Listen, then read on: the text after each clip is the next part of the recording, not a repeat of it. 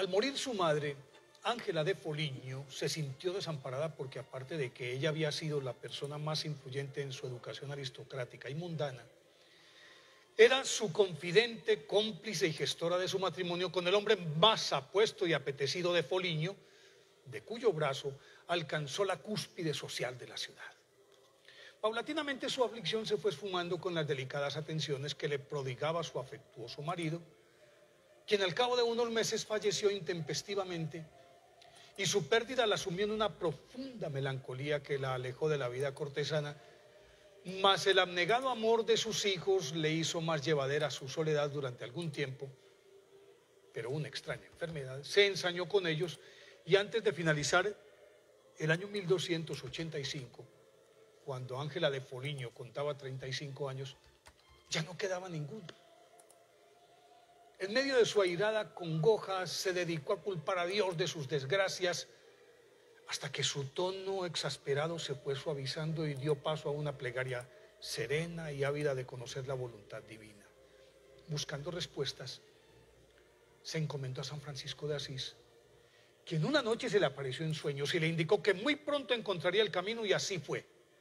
Pues al otro día, Ángela de Foligno urgida por un inexplicable deseo interior, visitó la iglesia de San Feliciano y quedó tan conmovida con el sentido sermón que escuchó sobre el amor de Dios que al terminar el predicador franciscano se confesó con él y en ese momento halló la paz anhelada.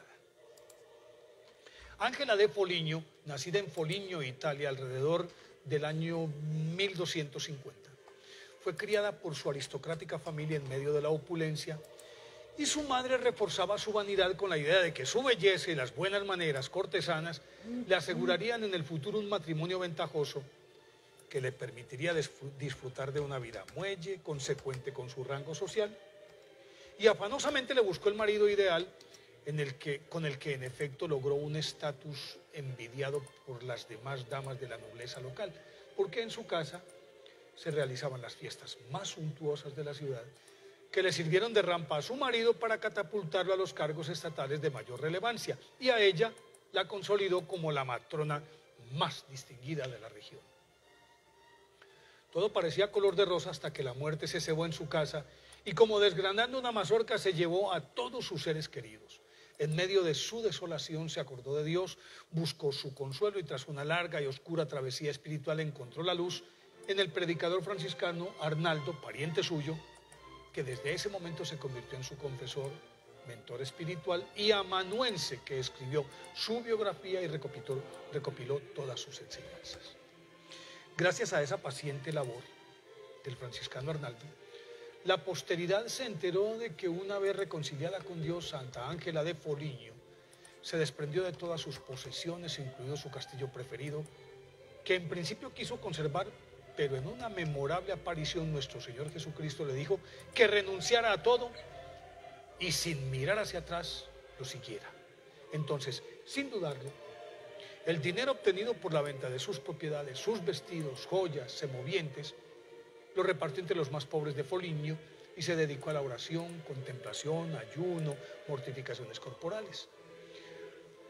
Como entre sus planes contemplaba la posibilidad de vestir el hábito religioso, para aclarar sus dudas, tomó el camino de Asís y en 1291 y en la mitad del camino la abordó el Espíritu Santo que durante el resto de la peregrinación la instruyó sobre el recorrido espiritual que la conduciría a la santidad.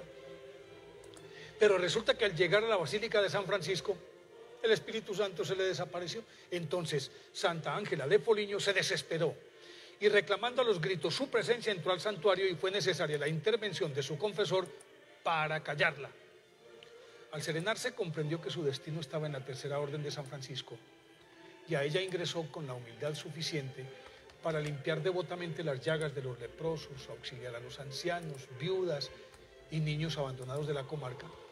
Y en la medida en que se entregaba incondicionalmente a los demás se acrecentaban sus experiencias místicas, las cuales compartía con un grupo de discípulos, sacerdotes, monjas y seglares que la asumieron como su guía. Y Todas esas enseñanzas se las dictaba su confesor Arnaldo, que las recopilaba meticulosamente y con ellas fue construyendo el memorial de Fray Arnaldo un compendio biográfico y espiritual cuyas enseñanzas se convirtieron en el manual de consulta de los más notables místicos de la Iglesia.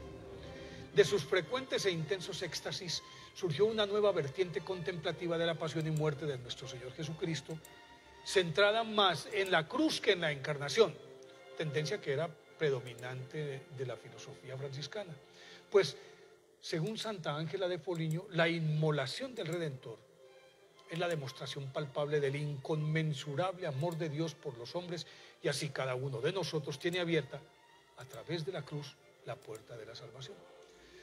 Sus mensajes consignados en cientos de opúsculos y cartas le merecieron a la Santa a Santa Ángela de Foliño los títulos de la mística de la pasión de Cristo y maestra de teólogos.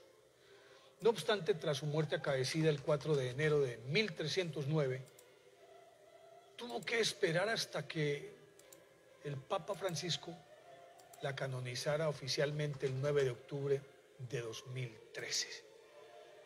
Por eso hoy, día de su festividad, pidamosle a Santa Ángela de Foliño que nos enseñe a aceptar la voluntad divina sin reparos.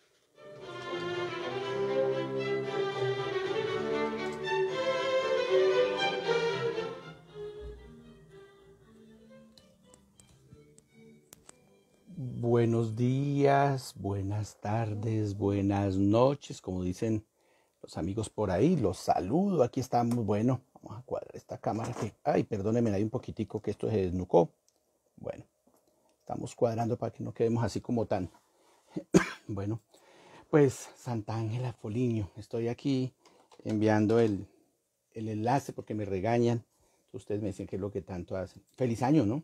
¿Hasta cuándo se dice feliz año? Ayer 3 de enero, se celebró ya los Santos Reyes Magos, o sea, la Epifanía del Señor, que también se llama la manifestación del Señor. Déjenme aquí, por favor, yo envío el último enlace que me falta para que muchos amigos puedan ver esta, este notimonaguillo, porque me regañan y que monaguillo, que no lo podemos ver, que el enlace, que esto.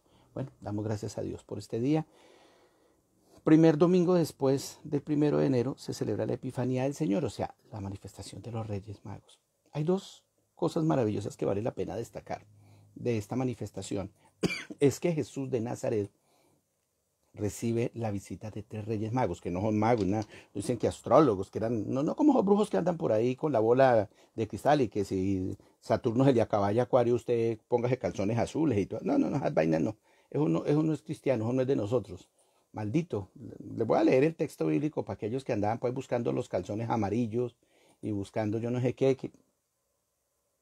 Una vez yo siempre cuento esa historia porque me parece, como dicen los muchachos, patético. Una vez una amiga tenía amarrada una mata que le había rezado un brujo debajo de una, allá en una cercha una teja de zinc por allá en Jordán en esa novena etapa, por allá que hace un infierno de calor cuando hacen esos veranos tan impresionantes. Ay, monaguillo, ayúdeme a orar, ¿cómo le parece que es que se me está marchitando la suerte que no sé qué? Dije, venga, la cuelgo de las patas a ver debajo de esa teja de zinc, no se le seca hasta la conciencia.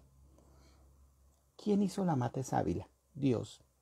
¿Quién lo hizo a usted? Dios. Ahí me dijeron una vez que una buena, que una herradura era buena suerte. Y si la había usado el caballo, y un día me la encontré a las 5 de la mañana por allá por Ancón Tesorito. Y yo me puse contento, ¿no? Y eso la colgué detrás de la puerta. Qué pecado, el pobre caballo, se le cayeron los tenis y yo, es que feliz.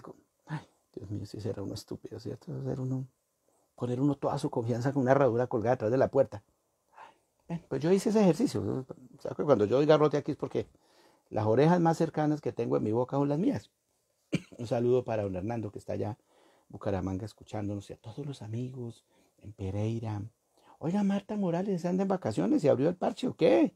Me olvidó, me sacó el llavero en el 2021, ya me olvidó. Bueno, no, mentiras. Ganas de saludarlos, de, decirles que el Señor los bendiga. Solo por hoy. Ayer ya pasó. Mañana no ha llegado. Viva el día. Ay, ¿qué va a ser del 2021 con la pandemia? Si usted se pone a pensar en eso, ya se enfermó. Está vivo hoy. No nos morimos en el 2020. Ya si yo estiro la pata hoy, me morí en el 2021. Ya le pisé la cola. Ya soy de este milenio. Bueno, cuando estaba en 1980, hace 40 años. Oh, yo decía, ¿cuándo era? 2000. ¿Qué se sentirá estar en el 2000? Ya estamos en el 20, no, que no diga 2021, que no diga, mismo, 2021, 2021 es lo mismo. Este día está en manos del Señor Jesús. Mi vida pertenece al Señor Jesús y si vamos a vivir es en manos del Señor Jesús. A propósito, déjenme buscar, yo me emociono, me emociono mucho. Entonces, ah, les hablaba de la Epifanía, es que me emociono. Tres reyes magos, tres reyes vienen también con incienso, mirra y oro a ofrendar al Dios su bien como el más grande tesoro, tu taina. El blanco, el amarillo y el negro. Eso es lo que quiere decir, es que todas las razas van a alabar al Señor. Déjenme mirar aquí porque es que usted dice que lo que mira el monaguillo, ah, pues que tengo el computador allá. Entonces, para buscarle de una vez el, la meditación del Padre Aldemar, que se me había olvidado alistarla, por estar alistando lo del santo del día. Oiga, Santa Ángela Fuliño, yo no conocía la historia de esa santa, ¿no? Eh, que la mamá la quería casar en ese tiempo, las mamás, como siempre, pobrecita, las mamás no es que sean malas, ni. Pues las mamás siempre que los hijos quieren que se casen bien, y, pero como dicen por ahí, una cosa piensa el burro y otro el que la está enjalmando. Vamos a mirar el Evangelio de hoy, porque el Evangelio de hoy eh, es curioso, eh, habla de San Juan, el Padre nos explique. Este es un tiempo como extraño litúrgicamente, unos evangelios, porque uno cree que todos hablan de la natividad. No, todos tienen una razón de ser. En la iglesia todo es sabio. Yo les digo a ustedes, si usted durante tres años, todos los días, lee estos textos del evangelio que yo les paso aquí, que están en el ordo, habremos leído la Biblia de lado a lado. Pero eso no se trata de leerla por leerla porque no es un cuento con Dorito. Se trata de vivirla. He ahí, como dicen las abuelas, es donde la puerca tuerce el rabo porque una cosa es leerla y otra cosa es vivirla. Miremos este Evangelio, San Mateo 4, 12, 17, 23, 25. Déjenme, yo les habilito aquí el sonido para que les salga perfecto en sus celulares, y sus computadores. Evangelio según San Mateo 4, 12, 17, 23, 25. Al enterarse Jesús de que Juan había sido arrestado, se retiró a Galilea y dejando el pueblo de Nazaret se fue a vivir a Cafarnaún junto al lago, el territorio de Zabulón y Neptalí, para que así se cumpliera lo que había anunciado el profeta Isaías, tierra de Zabulón y Neptalí, camino del mar, al otro lado del Jordán, Galilea de los paganos. El pueblo que caminaba en tinieblas vio una gran luz, sobre los que vivían en sombras. En tierra de sombras una luz resplandeció. Desde entonces comenzó Jesús a predicar diciendo, conviértanse porque ya está cerca el reino de los cielos. Y andaba por toda la Galilea, enseñando en las sinagogas y proclamando la buena nueva del reino de Dios y curando a la gente de toda enfermedad y dolencia. Su fama se extendió por toda Siria y le llevaban a todos los aquejados por diversas enfermedades y dolencias, a los poseídos epilépticos y paralíticos, y él los curaba. Lo seguían grandes muchedumbres venidas de Galilea, de Decápolis, Jerusalén, Judea y Transjordania. Eso es palabra de Dios. Bueno, pues si ve que ahí habla del anuncio del reino de Dios, el misterio que manejamos nosotros, que siempre meditamos cuando estamos hablando de los misterios luminosos, ¿no? Esos que nos aprobó el Santo Papa Juan Pablo II cuando nos llenó ese campo de la vida eh, pública de Jesús de Nazaret. Escuchemos al Padre Aldemar Durán, eh, párroco allá en San Francisco de Asís, Boquerón, que nos trae la meditación. Mis queridos hermanos y hermanas, en este día lunes los invito para que tomemos el Evangelio de San Mateo, capítulo cuarto, versos 12 al 17 y luego 23 al 25 del mismo capítulo cuarto. Digamos juntos, Señor Jesús, yo te abro la puerta de mi corazón, de mi vida, y te recibo como mi único Señor y Dios. Acepto tu voluntad, sea la que sea, con tal de que ella se cumpla en mí. Te entrego el gobierno de mi vida, de mi casa, de mis asuntos, ahora y por siempre. Amén. Hoy, el Evangelio nos presenta a Jesús en una región de Galilea anunciando que el reino de los cielos está cerca y haciendo un llamado a la conversión. La palabra de Jesús es, vuelvan a Dios porque ya llega su reinado. Pero ¿a quién le dice el Señor esto? A ti y a mí, a tu familia y a la mía, a nuestras comunidades. Porque muchas veces, mis hermanos, podemos sentir que somos evangelizados, si el Señor dice vuelvan a Dios, es porque antes estaban y se han ido. porque tal vez nos hemos enfriado, porque tal vez sacamos disculpas para alejarnos de Dios y de la iglesia. Hoy tal vez el Señor nos diga, sí, estamos en pandemia, pero vuelvan al templo, vuelvan a alimentarse de la palabra de Dios, vuelvan a la comunión sacramental, vuelvan. Volver a Dios, ¿qué es? Es corregir los errores que hemos cometido. El problema está, mis hermanos, en pensar y en sentir que este llamado a la conversión es para otro, no es para mí. No es que el Señor está llamando al borrachito de la cantina, es que el Señor está llamando a aquella persona que nunca venía a la iglesia. No, tal vez a ti y a mí que vamos a misa, a mí que soy sacerdote, también me está llamando. Hoy tenemos que sentir que ese llamado, vuelvan a Dios, es un llamado de, Dios para ti y para mí, para todos, que nadie se excluya de este llamado. Y segundo, ¿qué me ofrece el Señor? ¿Por qué debo volver? El texto dice que Jesús enseñaba, entonces necesito escuchar la palabra. Aprendamos a escuchar a Jesús. Y segundo, el Señor curaba toda clase de enfermedades y dolencias. ¿Cuánto dolor guardamos en el corazón? ¿Cuántas heridas llevamos? ¿Cuánto sufrimiento? ¿Cuánta enfermedad hay en nuestro corazón, en nuestro cuerpo, en nuestra vida? Yo personalmente necesito que el Señor sane mi vida. Yo les decía anoche, hay espacios de mi vida, de mi corazón, que pueden estar en oscuridad y necesitan llenarse de luz. ¿Y qué es luz? La presencia de Jesucristo. Lo necesitamos, mis hermanos. El Señor nos ofrece sanación, liberación, libertad. ¿Lo necesitas? Vuelve a Dios. Busca de Dios. Abre tu corazón a Dios, que Dios puede transformar tu vida. Y ahora di conmigo, Señor Jesús, vacíame de mí, lléname de ti y haz de mí un don para ti y para mis hermanos. Deseo que el Señor y la Santísima Virgen María les bendiga y les acompañe en el nombre del Padre y del Hijo y del Espíritu Santo. Recuerden, unidos siempre en la oración.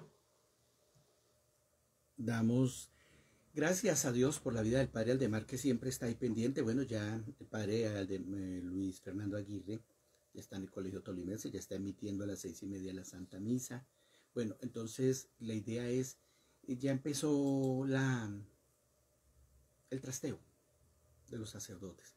Hay mucha gente que monaguillo, que esto, que aquel, que cual, que cual no van a traer, que no sé qué. El que nos va a poner el Señor está bien, no se preocupe. Ese es, denle gracias. Ahorita si me alcanza el tiempo les paso un video muy lindo que sacaron de la parroquia de la catedral, dándole gracias a Monseñor Gustavo Vázquez por los nueve años, vea. Nueve años estuvo en la catedral cómo pasa el tiempo, ¿no? Increíble.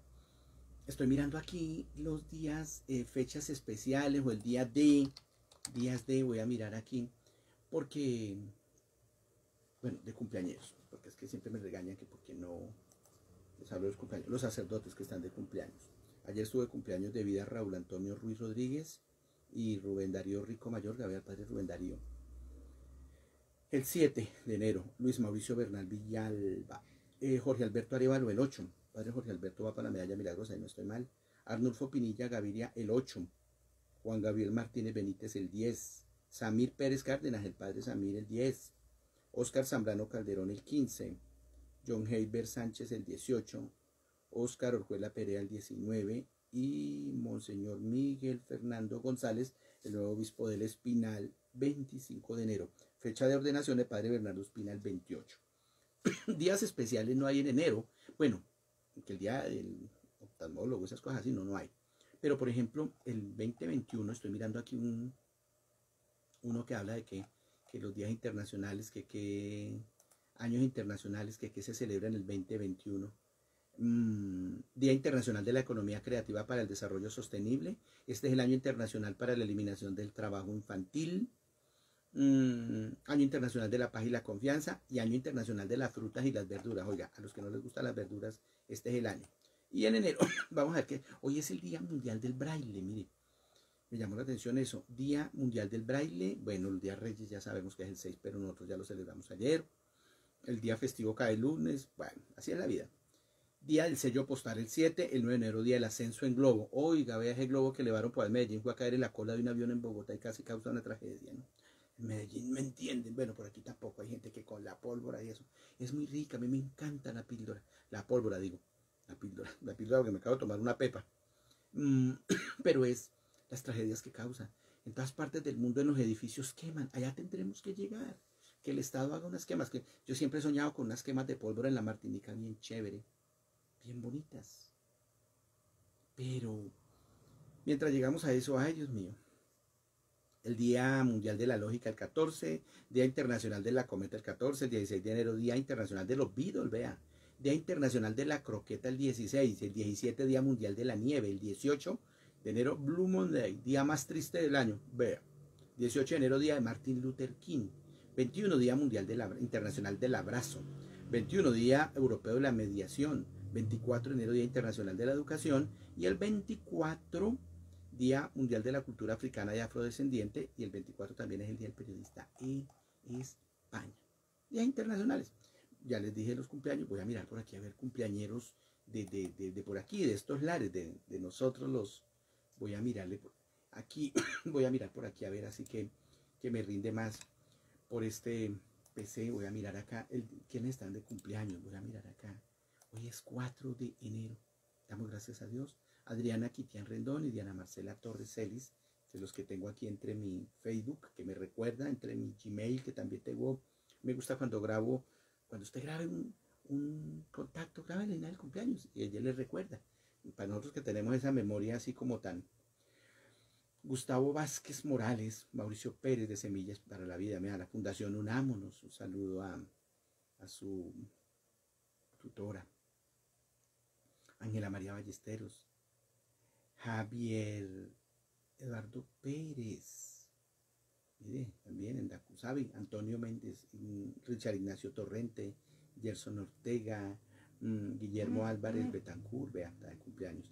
Oiga, ayer estuvieron de cumpleaños, venga, yo miro aquí, quién es, bueno, César Lowe cumplió, Leonardo Giraldo, el 2, Marta Liliana Pilonieta, José Fernández Gómez Alba, vea, Lucila Aroca, Helen Carvajal, Mm, Juan Carlos Escobar, mire, nuestro amigo Juan Carlos cumplió años. Mm, Magda Juliet Rocha también cumplió el 2. Nuestro amigo Dago Vargas en Palo Cabildo. Y así el 3, venga, yo miro ayer, estuvieron de cumpleaños. Pedro Antonio Barrera, vea mi amigo. Pedro, uy, carajo, ya vamos llegando al quinto piso. Alejandra Guzmán, Juan Castro, vea nuestro amigo Juan Castro, que trabajó tanto tiempo en Tolima FM. Nuestra amiga Lidia Orozco también estuvo de cumpleaños. María Rosario Duque, vea María Elsie Morales. Marta Lucía Buitrago, bueno, Gerson Alberto Bonilla. A todos ellos un saludo, a ustedes que se están conectando, gracias por estar ahí. Y bueno, yo pensaba poner un video, ayer vi en Los Informantes a Daniel Álvarez, la señorita Colombia, con su piernita, que nunca se levantara con el pie izquierdo. Dicen, ¿por qué? Porque, porque lo cortaron. Esa mujer es motivadora a morir. Es una berraca, una berraquita. Pero resulta que nosotros tuvimos una paciente que se nos fue en estos días.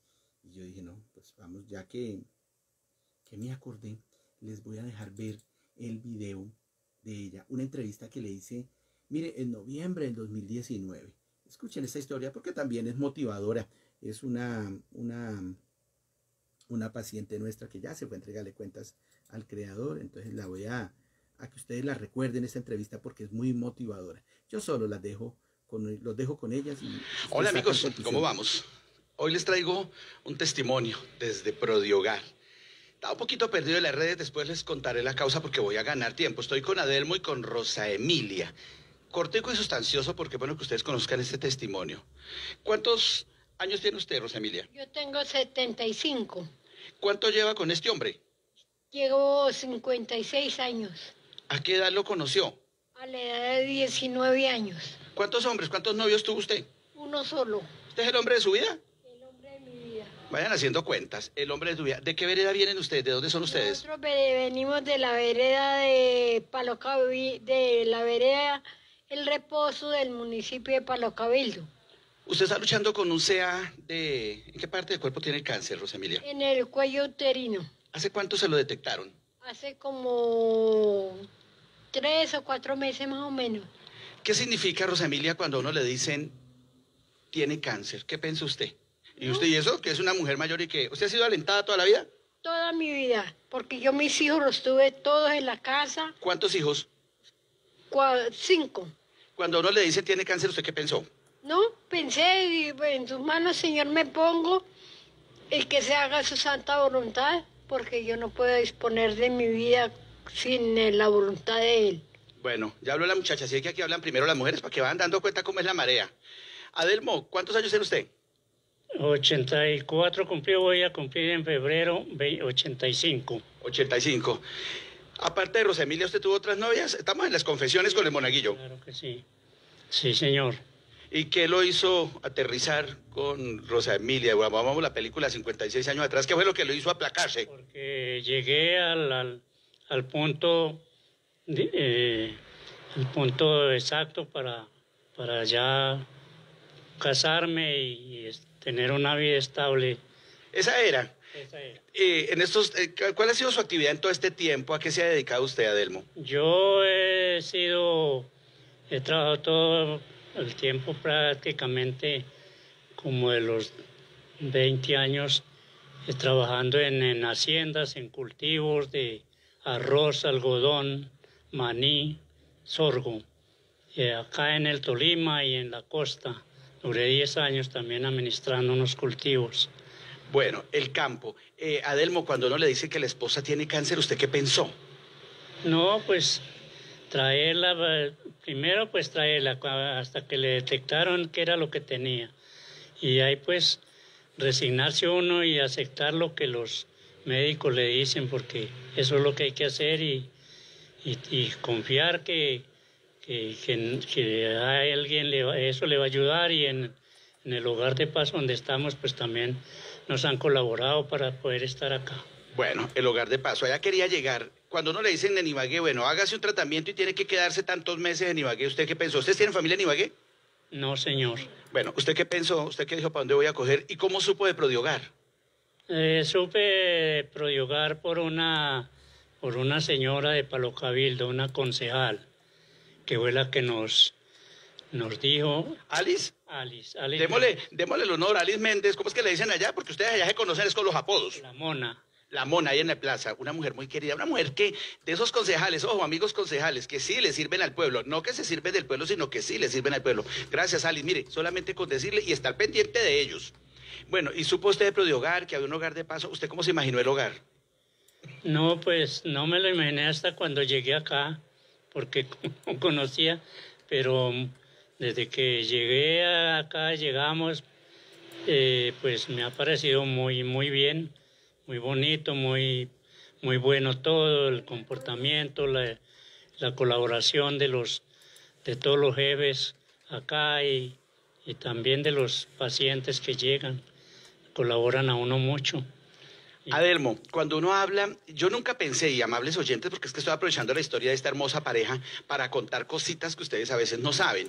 Yo nunca en mi vida pensé que iba a haber un hospital cerrado. Ibagué tiene cuatro, cerrados, con candado, con llave. Segundo, yo nunca pensé que los hospitales le dieran plata a los pacientes para que vinieran a su consulta. Ojo, la obligación es de la EPS, el hospital es la IPS. Y yo he visto enfermeras en muchos hospitales que han recogido plata para ayudarle a los pacientes. Las enfermeras, los empleados de caridad.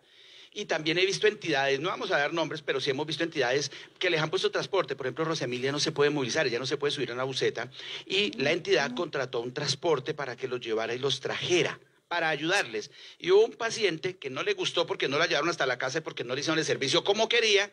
Los demandó, se puso guacharle a la guerra y la entidad acabó con el servicio. O sea, los pacientes también a veces hacen que las personas o las entidades que quieren colaborar acaben los servicios. ¿Qué siente uno, Adelmo, cuando por culpa de otro pierde un servicio que, que- que le sirve de transporte y cuánto tiene que pagar usted de transporte diario a causa de que perdieron ese servicio? 34 mil o 35 mil pesos Diarios. diarios. Sí, señor. Llevan más de tres meses para allá y para acá, hagan cuentas. ¿Y qué significa? ¿Qué siente uno cuando otra persona se porta mal y por culpa de ello le quitan un servicio que para ustedes era muy importante? Pues muy frustrante para uno porque por culpa de ella nos, nos perjudicó a todos y hasta el, hasta el conductor porque a él le, le suspendieron el contrato allá en la, en la clínica. Y después ella pues era las primeras veces que iba y era a las 10 de la noche la terapia de ella y entonces pues por ahí al, segundo día ya estaba llorando, diciéndole que, que la volviera a llevar y a traerla. Bueno, mire, el conductor estaba pagando. Con esa plática que le dan ahí pagaba su camioneta. Así ve que por unos pagan todos. Eh, Rosemilia, usted cuando le dijeron un hogar de paso, ¿usted cómo se imaginaba un hogar de paso? No, pues yo dije, pues hay que ver para conocer porque yo no tenía idea que ese era un hogar de paso. Y yo tal vez un, para dormir y salir a hacer las vueltas y ya. ¿Y qué encontró? Encontré, cual sorpresa, encontré, encontré amor, encontré acogimiento, de que todo, todo aquí son muchísimas personas muy hermosas, muy caritativas que el Señor los ha de bendecir. Y aquí es como si estuviera yo en mi casa cuando uno ve llegar, usted tiene una ventaja y ellos, hay que decirlo, han tenido la visita de los familiares, ellos han tenido mucha visita, la familia ha estado pendiente de ellos, eso no pasa con todos. Yo entiendo que vienen de lejos y como me decía alguna vez un hijo, don Carlos, yo no es que no quiera a mi mamá, sino que los 50 mil de ida y 50 mil de venida en pasajes son 100 mil que yo más bien se los consigno y le hablo por celular y la veo por YouTube o la veo por, por WhatsApp. Eso es válido, pero hay familias que pueden y hacen el debercito de venir a darles una vueltica porque ellos llevan más de tres meses aquí. Rosemilia, para los pacientes, para la gente que está luchando, ¿cuál es su mensaje? ¿Qué le quiere decir a esas personas que tal vez quieren tirar la toalla? ¿Cuál es su mensaje? Mi mensaje es que pongan toda la fe primeramente en Dios nuestro Señor y que deben de luchar a salir adelante. Yo he pasado por unas pruebas muy difíciles y mediante con el poder de Dios aquí estoy. ¿Usted me deja contar qué le está pasando hoy? ¿Contamos? Hoy estoy contenta porque el doctor dijo que sí podía viajar a mi casa, que yo, yo tres meses sin ir a la casa. Yo allá tengo una niña semi especial y tengo deseos de ir a visitarla. Miren, después de tres meses y medio el médico autorizó que pueden viajar. Eso significa mucho. Adelmo, usted como familiar, ¿qué le quiere contar a la gente que está viviendo su misma experiencia? A usted que lo hemos visto luchar, guerrear 56 años con su esposa y sigue guerreando. ¿Qué mensaje le quiere mandar a esas personas que lo están viendo, que lo están escuchando? No, pues que, que sigan, si han, se han portado bien con en el matrimonio y, y hasta ahora y que no vayan a tener ningún problemas entre ellos y, que sigan adelante y que cualquier cosa que, enfermedad por, por mala que sea, pues que, busquen la protección y el, el, sitio donde a uno le puedan darle el, alojamiento y, y, los medicamentos, todo eso que vayan donde los médicos, porque eso es lo que hay que hacer una pareja, eso es lo que hay que hacer. ¿Y qué siente uno finalmente, Adelmo, cuando usted ve llegar, por ejemplo, ayer 40 muchachos que se van a graduar de la institución Darío Echandía, que con su profesora vinieron a traer unas cositas de aseo, unas cositas para el mercado, unas cositas para limpiar la casa? O cuando ustedes ven que llega a mercado acá, hay muchas personas que no sabemos ni el nombre. ¿Qué significa para un paciente esas ayudas? Significa mucho porque eso significa que sí son personas que, que sienten quién es el que necesita y le pueden colaborar con lo que sea y, vienen a, colaborar a traer de todo lo que ellos pueden y consideran que se necesita acá en el hogar.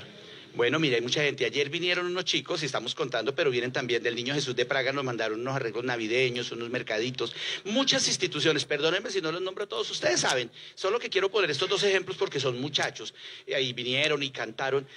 ¿Qué siente uno, Rosemilia, usted como paciente cuando vienen a una visita, cuando les traen una fruta, cuando traen un café, cuando traen unas tapas, cuando donan ropa para nuestra venta de garaje? ¿Qué siente un paciente? Yo sentía alegría porque la gente es humanitaria y se acuerda de los enfermos. Y yo sentí mucha alegría que se acordaron de, a pesar de ser unos muchachos, la profesora es humanitaria y le ha sabido enseñar que hay que colaborar y que hay que salir adelante. Bueno, mire, ahí tienen 56 años de amor. Para los que dicen que el amor no existe, hemos querido llevar este testimonio porque nos parece importante que ustedes los conozcan, porque a pesar de lo difícil que es el cáncer, lo difícil que es el sistema de salud, lo difícil que es las circunstancias, ellos son un ejemplo de que sí se puede. Y finalmente, yo creo que hoy más que nunca el, lema de Prodiogar se hace vigente. Prodiogar, porque juntos damos más que amor. Gracias por ayudarnos. Chao, chao. Bendiciones a todos. Chao, pues. Gracias, don Carlos. Ahí está, conmovedor, ¿no? Esto fue hace año, larguito. Ya hace la semana pasada falleció Rosa Emilia. ¿Sí ve qué motivación? A mí me da como una cosa, como una sensación, a veces me da como unas ganas de llorar porque me da como una tristeza. Mire, Rosa Emilia fue una de las pacientes que hemos tenido aquí en siete años que vamos a cumplir ya ocho años que lleva esta casa en servicio, porque la fundación lleva 14 por la casa, esta, la de aquí, porque tuvimos en la Francia también, ¿qué más visitas ha tenido? Y visitas, eh, a mí siempre me ha impresionado eso. Aquí a veces las familias vienen y nos botan los pacientes como que. Una vez vinieron, y yo voy a contar, a mí dicen que en un libro lo voy a contar aquí porque mañana estiro la pata y me quedo sin contar lo que tengo que contar. Mi mamá dice, usted es muy contón. Em, vinieron de Neiva, una época en que llegó una avalancha de Neiva. Primero, déjenme decirles, ¿sí que habían cuatro hospitales cerrados hace un año? Bendita pandemia. Porque no había plata para la salud, iban a rematar el limonar y que no hay, no hay, no hay, no hay, y les tocó. Sí hubo, mijito, y la salud es primero. La pandemia nos enseñó que es lo más importante, la salud. Y les en falta avenidas, puentes peatonales, elevados, mm, el pulpo, la araña, todas esas cosas que tiene Venezuela y que tienen las grandes ciudades del mundo. Si no tenemos hospitales, baila, dicen los muchachos, tuki tuki lulu. Bueno, me hizo recordar el video, yo no me acordaba, es que aquí se nos olvida muy rápido la cosa, pero es que me gusta el internet. El Facebook me recuerda cosas muy chéveres, a veces con esta memoria. y lo otro, una avalancha porque cerraron un hospital allá, cerraron servicios, porque las GPS son como los borrachos, donde le cierran, donde, le cierran el crédito aquí, se van para otro lado a ponerlo a otro lado. Entonces de allá los chutaban todos para acá. Imagínense en Neiva que le digan baje dos, tres meses para Ibagué, ¿dónde vive? Se ve 35 mil pesos para ir hasta Clinaltec. Las enfermeras dándoles de su sueldo que les pagan por cada siete meses y sueldos así bien terribles. Mm las obras de caridad, la grandeza humana. Yo vivo fascinado por eso. Eso es lo que no deja tirar la toalla ni desilusionarme, porque somos más los buenos. Y no es porque uno sea la última Coca-Cola, es cierto, ¿no? Tratamos, luchamos de hacerlo mejor. Tal vez con muchos errores, con muchas equivocaciones, pero tratamos, tratamos. y si ve Rosa Emilia cómo cuenta, cómo se sienten los pacientes. Y entonces de Neiva una vez llegaron en dos carros muy bien, una señora cincuentona, muy bien puesta, muy bien y me sorprendió que yo ese día estaba como endemoniado, salí aquí a la oficina y le ahorré salir y dije, buenos días, ¿en qué le podemos servir? Cuénteme, ¿quién va a cuidar a la señora? No hay quien la cuide. Le dije, sí, ¿cuántos hijos tiene? Doce. Doce hijos y no hay quien cuide la mamá. Y cómo ya se pudo parir y sacar adelante doce hijos. Y no pasa en TNT ni en Netflix, pasa en Ibagué, Tolima, Colombia, Sudamérica, pro de hogar. ¿A qué jugamos? ¿A qué jugamos? Y mire ahora cómo están muriendo y no los volvemos ni a ver. Mi madre, si Dios lo permite, va a saludar a Gonzalo Zavala Ramírez allá Pereira. Gracias, Gonzalo. Gracias, Liliana. Román, mira, ahí está Liliana. beso para las Dorcas. Ellas que hacen un trabajo muy lindo. Tienen un restaurante, nuestros hermanos adventistas, y ellos venden la comida a mil pesitos, los almuerzos para los familiares de los que están en el Federico Lleras. Un saludo también para nuestras hermanas Dorcas. y entonces retomó la idea aquí uno ve cosas maravillosas y les decía de cumpleaños de mi madre el 8 de enero. El 8 de enero es en cuatro días. Venga, yo miro aquí calendario porque es el próximo viernes. 83 años cumple mi madre. Yo le agradezco a Dios por el don de la vida de mi madre. Desde ya le doy gracias. Le digo a mis hermanos, cuidémosla, una mujer de servicio. Ese es el Evangelio, servir. Yo siempre les cuento porque la gente cree que mi mamá es de misa diaria y de rosario diario. Y no es cierto, no lo es. Yo diría mentiras pero es una mujer que se quita el bocado de la boca para dárselo a otros. Una mujer correcta, una mujer buena paga, tiene crédito en todas partes, servicial, todo el mundo tiene que ver con ella, su comportamiento, toda una dama. Entonces, ese es el Evangelio. Ayer me preguntaba un amigo que los doce mandamientos, que no hay que leer, no tiene tanta pendejada, tanta chochera, que si las fiestas de guardar, que aquí dice, que aquí no dice, hay gente que se la pasa con una Biblia amarillenta aquí abajo de la chucha y hable y luego le sale babasa de tanta Biblia. Hechos, hechos. Y voy a contar otra cosa. Esto mantiene aquí lleno de evangélicos y somos católicos. Mire, Liliana es adventista.